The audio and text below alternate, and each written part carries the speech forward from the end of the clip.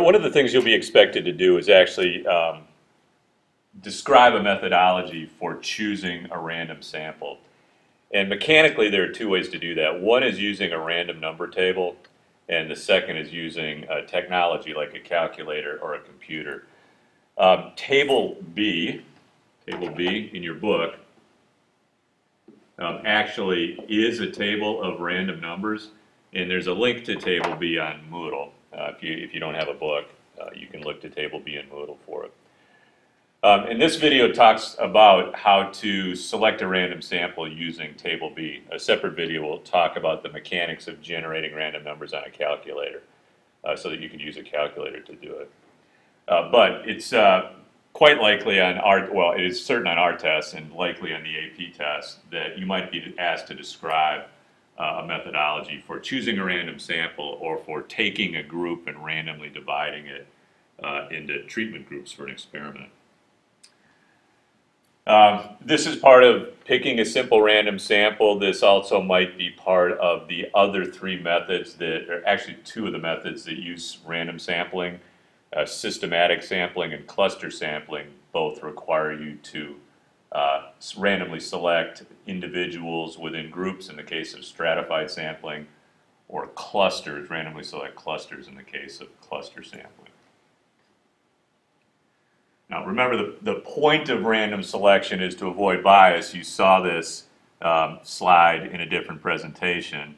Uh, voluntary and convenience sampling don't have randomization in them. Uh, we improve those methodologies by introducing randomization, and so these four methods use random selection in some form. All right, uh, this is literally a picture of table B in your book. It is a table of random numbers. That is, there is no pattern whatsoever to the numbers you see here. Um, just in terms of using the table, note that these are just line numbers. They are not part of the random number pattern here. Sorry, I shouldn't say random number pattern. They're not part of the random numbers. Your book will say something like, go to line 103 and randomly select dot, dot, dot. And the reason your book does that is so that everybody gets the same answer and you can see whether you've done the methodology right um, by looking up the answer in the back of the book. But um, it's it's a table of random digits. In theory, you could start anywhere on this table you wanted to to conduct random selection. Uh, what does it mean to be random? Well, it means each entry in the table is equally likely to be any number between 0 and 9. Makes sense? And each entry is independent of the next. So the fact that one number is 0 uh, has no impact on the next numbers. So in fact, it's possible, even in a random number, number table, to have three zeros in a row. It's also possible to have three numbers in a row that are different. Okay, when choosing a random sample, and this is specific to using a random number table, it's slightly different when generating your own random numbers. We're going to assign a numerical label to every individual in the population. So let's just deal with something simple. Let's deal with a classroom of 30 students. What this means is that every student in the class is going to get a number assigned to them, a numerical label. They have to have the same number of digits, and we're going to use the shortest possible number of digits. So if I have a class of 30, I'm going to number them 0, 1 to 30, not 1 to 30. Each uh, random number has to have this, each number, sorry, numerical label has to have the same number of digits.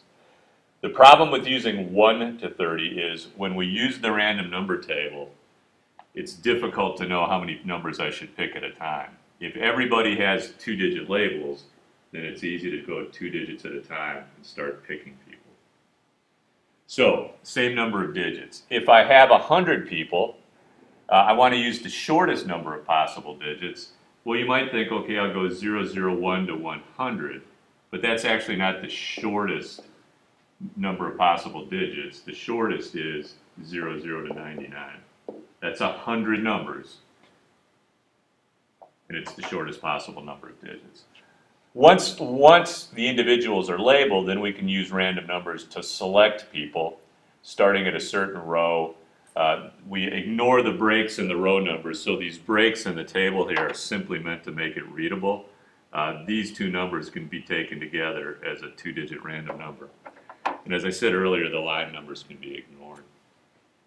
Um, you can also get to the end of a row and go on to the next row. Uh, one of the things we have to worry about is repeats. If I'm, if I'm uh, selecting randomly from a, within a classroom and I have a certain student who's number 27, well, what happens if I pick 27 twice off the random number table? Well, two things might happen. I might ignore the second 27 because I've already selected the person. But if my sampling is with what we'd call replacement, if I pick person 27 and I put him back in, it might be okay to pick him again. So that's just a function of what we want to have happen, and we have to talk about that. Um, and then we also have to talk about what we're going to do with numbers outside our domain. I've numbered my students from 01 to 30. What if the random number that comes up happens to be 54? Well, most likely we're going to ignore that. So when you're asked to define a methodology, you're going to talk about how do I number people, how do I handle repeats, and then how do I handle numbers outside the domain.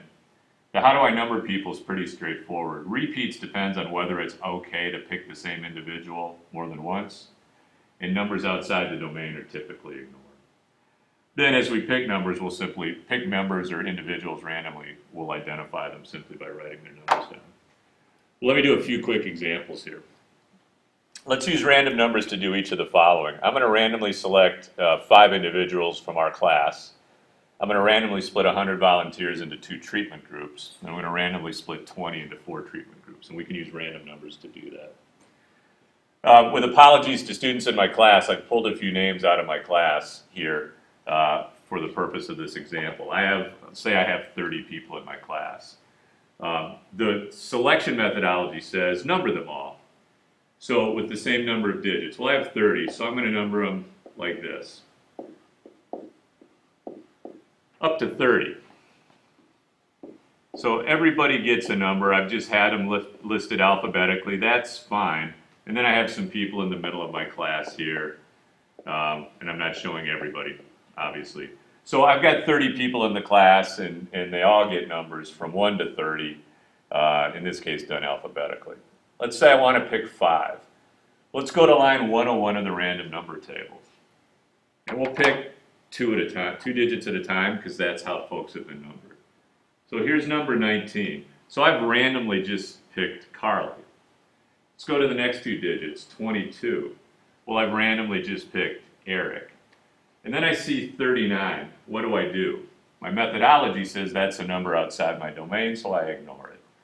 I ignore 50. I ignore 34. 05 pops up. I've randomly selected Jeremy. I ignore 75. I ignore 62. Now, it's not happening, but what if 5 popped up again? Well, in this case, I'm using people for a survey, so I'd ignore it because I've already got Jeremy's opinion. 87 pops up, 13 pops up. I don't have person number 13 here, but somewhere in my roster is person number 13, and I'll pick them as well. So um, I've picked people, four so far. I want to pick one more. How far do I have to go? 96, 40, ignore them, ignore them. 91, ignore it. Person 25, oops, I don't have them here either, but person 25 here, it's not really a person in my class, but I might pick Bob and Lou as well. So I've got my five selected that way. And it's random. The numbering, labeling wasn't random, but that's okay. The selection was random because I used a random number table. Once I picked them all, I would write them down. Who's my random sample? 05 Jeremy, 13 Bob, 19 Carly, 22 Eric, 25 Luke. All right, let's talk about a slightly different problem. I've got 100 subjects I'd like to split into two treatment groups. Now, there are a number of ways to do this, sort of up to your creativity. All are fine as long as there's an element of randomness in it. I've got 100 people. What would I do?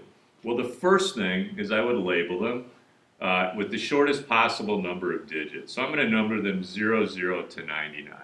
Let's just say they're listed alphabetically. Well, what am I going to do now? I need to randomly split them into two groups. The simplest approach, let's go to the random number table. Again, it doesn't matter where you start. I'm just going to start at the beginning for simplicity. The simplest approach is just to start picking folks. And because it's random, the first folks we pick can all go into group one. Again, remember, they're numbered double zero to 99. So these first two people, I've picked 19 and 22 they go into group one. And I continue to do this. 39 goes into this group, person number 50, person number 34. Nothing's going to be outside my domain here because every two-digit number I pick off the random number table is going to be between 0, 0, and 99. If I get a duplicate, I'm going to ignore them. If person 19 pops up again, I've already got them, so I ignore that. And I continue to do this until I get 50 in group 1. They've been selected randomly. Once I've done that, I have 50 others that haven't been selected. The other 50 automatically go into group 2. And that's random. I've randomly split 100 subjects into two groups. Similarly, then, we can use that methodology. Let's say I want to randomly split 20 volunteers into four groups. Now, this is a bit more clumsy with the random number table, but I've done this on purpose. You'll appreciate the calculator later. I would number them 0, 0 to 19, or I can number them 0, 1 to 20. It doesn't really matter. And then I do the same methodology I just did. I go start to select people. Well, there's number 19. They're going to go in group 1. The problem here is well, geez, uh, 22, ignore them. 39, ignore them. 50, ignore them. Those aren't in my range. 34, ignore them. And this becomes a bit more of a hassle. Here's person 5, I'll put them there. Ignore the next, ignore the next, ignore the next. Here's person 13, I'll put them there. And 20 volunteers, four groups, I want to keep going. Ignore, ignore, ignore, ignore, ignore. And you can see the problem with this. I want to keep going until I get five people in the first group, and I'm not going to keep doing this. Here's double zero.